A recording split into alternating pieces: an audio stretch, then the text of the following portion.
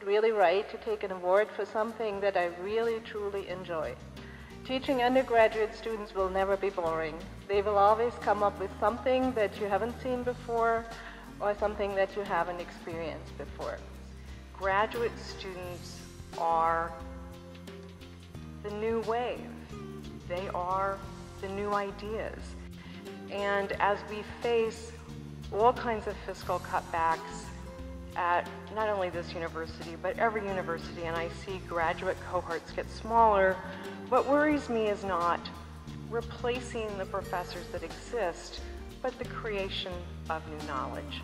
And I have to say, the students I have had, whether they work in research universities, as many do, or do other kinds of work, have incredibly smart ideas.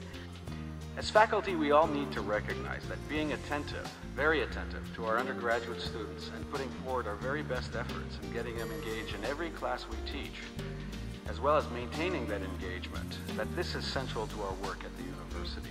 When I began my career teaching many years ago, a colleague told me to remember as I prepared to teach a new course that every class we teach was created by someone who loved and enjoyed the subject and that the key to keeping the students' interest was making sure that they could see why that was so.